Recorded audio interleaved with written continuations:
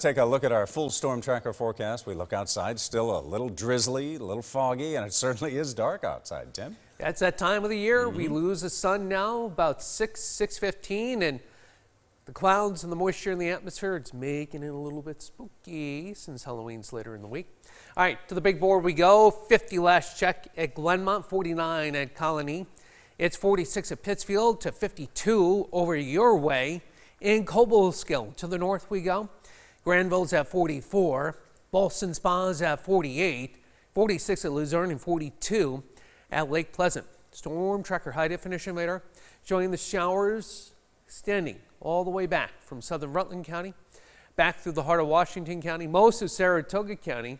Take that all the way back through the New York State Thruway in the Mohawk Valley toward the EDA corridor and extend that down toward the county line between Otsego and Delaware counties. This activity will slowly wane as we head through the next few hours. The big question is can we get some sunshine in here after dealing with the cool stuff over the weekend? Well, here's our system right now. You can see how the precipitation is tracking. We'll actually get some drier air in from the north and northwest as we head through the overnight period on Tuesday as well. And that means a mostly cloudy sky overnight tonight and a mostly cloudy sky again for tomorrow. Uh, there's more moisture lurking back here, and that will help to parlay the cloud cover issues our way for tomorrow. And then we finally get high pressure to build in for Wednesday. Here is Zeta. It is a hurricane headed for Cancun, second such system to be able to affect portions of Mexico in that capacity in the last several weeks. Sustained winds at 80, gusts to 100. Here's the latest National Hurricane Center forecast taking Zeta toward Louisiana again, except more toward the east side of the state, the center of the storm. And then that moisture will head just to our south by the time we head toward Thursday night and Friday. So we get rain in here on Thursday. Then the big question is actually two. One, does Zeta reform as a subtropical system, some tropical tendencies, but not quite to what we see at lower latitudes? Then the second question is Does cold air come into play to change our precipitation over to snow? At least in the high terrain, it looks like that, but we may get it to the valley floor come Friday. The Futurecast heading through tonight shows how our system ends up departing, getting some dry air in here as we make our way toward the pre dawn hours of tomorrow morning. Through most of Tuesday, it looks like cloud cover issues, even though the Futurecast is a little bit more optimistic midday.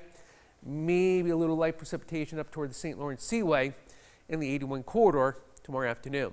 Forecast highs still chilly tomorrow, up to 49 in Albany, 48 at Schaghticoke, 44 as you make your way toward Delanson, upper 30s, a good portion of the Adirondack Park tomorrow, but doing 43 at Northville, 45 at Warrensburg, and 45 as you make your way through the city of Amsterdam. All right, forecast highs in the Catskills tomorrow. Generally 40 to 45, near 50 back in the valley floor at Catskill. Maybe as warm as 54 in the city of Kingston. Lower 40s across the southern greens tomorrow. Some upper 30s clearly in the high terrain. Mid 40s Washington County.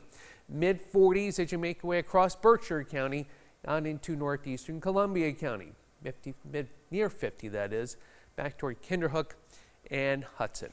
Here's your forecast for tonight.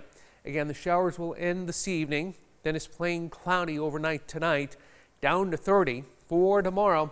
We look for a mostly cloudy sky and a high of 49.